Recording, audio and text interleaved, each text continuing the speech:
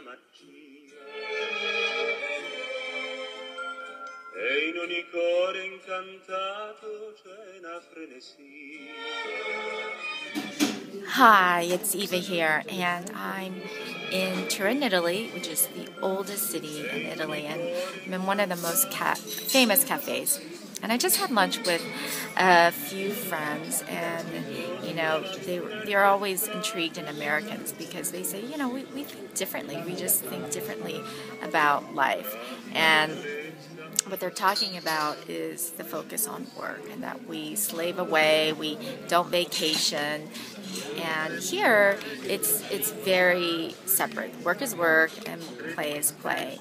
And you know, it really got me thinking of this new paradigm of a heart-centered lifestyle type of entrepreneur where work and play are kind of together. And I think that's such a great thing because that's something that's missing here. You know, people work um, so that they can live. You've heard that saying, and we kind of uh, live to work, and they um, work so that they can live.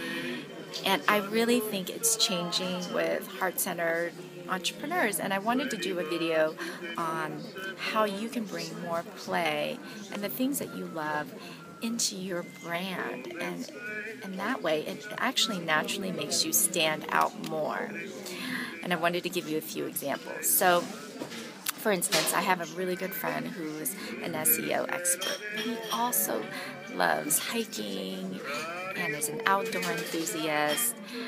And um, he's done a series of videos on his canoe. Such a great way for him to stand out is because when a CEO sees his video and they share a common um, interest in terms of outdoors and nature, he's going to hire him over another SEO guy. Another way is to combine two key business strengths or interests. So for me, that's branding and personal advancement. Um, another great example is what Copyblogger does with writing and internet marketing. So think about two key business strengths and, and, and, and, intersect them. And that makes you stand out because you're actually creating more value.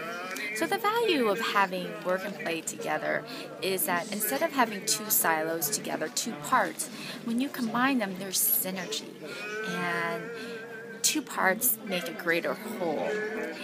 So you're providing more value and you're attracting the kind of people that value the things that you value and they're going to pay you more for that. So as I talked about in previous videos, people pay four times more for who you are and it's all about shared values. And this is a great example how you can bring that out in your brand and it's fun too.